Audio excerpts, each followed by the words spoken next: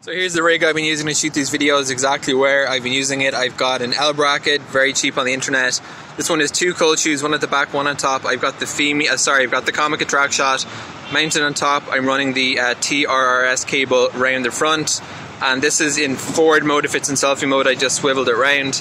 And you can see the monitor, the Fimi there, is recording in front of me. And uh, this is the ambient traffic noise we had in the background. So um, I think it's a decent setup. It works in combination. As I said, if there were uh, gain settings on the Fimi, it would make this a bit easier.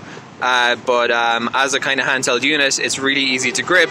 And uh, as I've said before, the Comica Traxshot, the arms are super super shaky, especially if you've had a bit too much coffee to drink. So you have to just kind of be extra stable, but they're just going to be bouncing around anyway. And then in selfie mode, it's just a case of turning it this way and hoping that you have the Comica uh, arms mounted high enough that they're not going to get in the frame because it is a very wide angle uh, camera, the Fimi Palm 2.